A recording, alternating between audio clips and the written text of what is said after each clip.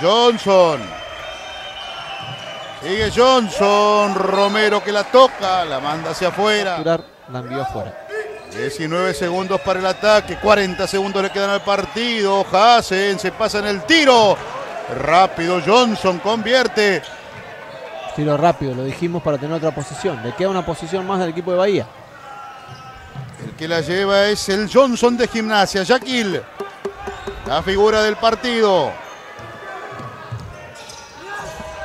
Johnson con Giorgetti. Giorgetti. La soltaba la pelota arriba.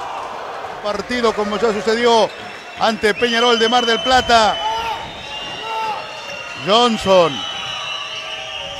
Hellerub, línea de fondo para él. El pase largo que viene.